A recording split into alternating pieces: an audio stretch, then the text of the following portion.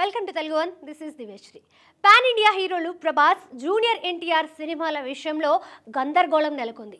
ఈ ఇద్దరి సినిమాల్లో ముందుగా ఏది మొదలవుతుందో తెలియక అభిమానులు తలలు పట్టుకుంటున్నారు. అసలు ఈ గందరగోళానికి కారణం దర్శకుడు ప్రశాంత్ నీల్ అని చెప్పవచ్చు.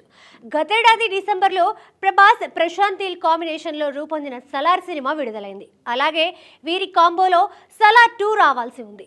మరోవైపు ఎన్టీఆర్తోనూ ప్రశాంత్ నీల్ ఓ సినిమా చేయాల్సి ఉంది.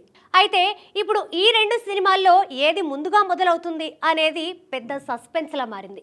కొందరు సలా టూ ఈ నెలలోనే ప్రారంభం కానుందని ఇది పూర్తయ్యాక వచ్చే ఏడాది ఎన్టీఆర్ నీల్ ప్రాజెక్ట్ స్టార్ట్ అవుతుందని అంటున్నారు. మరికొందరు మాత్రం అసలు ఇప్పట్లో సలార్ టూ ఉండదని చెబుతున్నారు.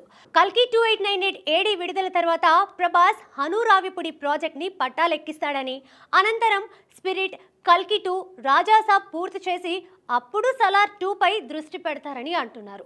అంతేకాదు ఎన్టీఆర్ నీల్ మూవీ అక్టోబర్ లేదా నవంబర్ నుంచి స్టార్ట్ కానుందని చెప్తున్నారు.